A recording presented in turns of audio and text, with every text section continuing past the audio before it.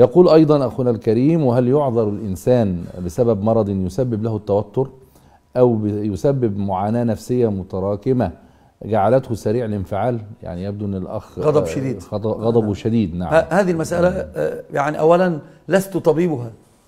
لست طبيبها.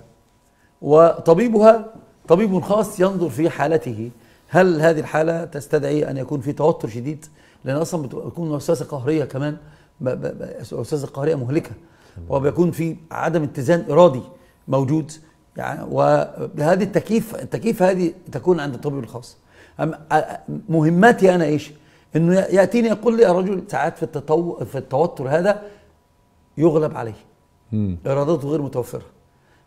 ممكن يفعل أفعال ولو ذكر بها ما يتذكرها.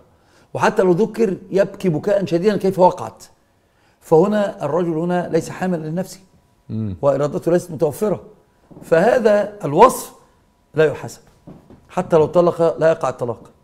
إن كان آه، إلا ده- ضمان المتلفات هذا أمر آخر من طريق الوضع. ده الذي يقال فيه لا طلاق فيه إغلاق؟ أيوه نعم يعني أحسنت. إن هو غاب عقله حتى أنه إرادته ما- غير لا متوفرة. يدرك ماذا قال أحسنت. أطلق أم لم يطلق؟ أحسنت.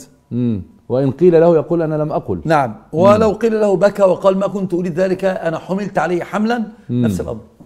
نعم. فإنه ف- في هذا الحال قد لا يكون مكفلا آه، مكلفا. رفع القلم. بس البعض يقول دكتور محمد آه، وهذا لل- للسؤال وليس نعم. لل- للاعتراض يعني. نعم. يقول ما هو ما فيش حد بيطلق وهو مش غضبان. هنا هذا الكلام أقول موزون جدا للغضب المتوسط. إحنا عندنا مرات الثلاثة. أيوة. اللي هي بداية الغضب عندما يقول لها لما تقولين ذلك؟ تقول لو أنت راجل كما في السؤال السابق. آه، لو أنت راجل طلق آه. يا بنت الحلال كيف أنا أنت بت... تهزيني في رجولتي طب انت طالق وأمك طالق من أمام- دي كمان يعني أمك طالق مستفزة طالق. و... يعني مثلا يفعل ذلك ده ممكن يقول له الكنبة كمان وك... طالق. آه بالضبط آه، هكذا آه، يعني. فاهم كيف؟ خلاص المسألة هزت عنده شيء. دي بداية الغضب لابد يقع طلاق يقع طلاق باتفاق. النقطة الثانية اللي إحنا بنتكلم فيها غلب على عقلي ما يفهم. نذكره يا رجل أنت ضربت ال... يعني كسرت الزجاج قال أنا لم أفعل شيء. ما يتذكر. هذا لا يقع طلاقه. باتفاق. يبقى ال- ال- الوصف اللي حضرتك وصفته هو في حد بيطلق من غير ما يغضب؟ في اللي هو الطلاق الوسط. مشتد الأمر عليه وما بيطلق وهو ما بين هؤلاء وبين هؤلاء. بين أول الغضب وبين آخر أو بين آخر الغضب. هنا شيخ الإسلام ابن تيمية وابن القيم يريان بأن لا يقع وينزل تحت لا طلاق إلا في إغلاق. هذا أنا ما أدين الله به وأراه ضعيفا. ليش؟ لأن كلمة إغلاق معناها التغطية التامة. خلاص التغطية التامة. مغلق. والتغطية التامة معناها إلغاء الإرادة. إلغاء الإرادة إذا غير مكلف إذا لا يقع عليه شيء في هذا الباب.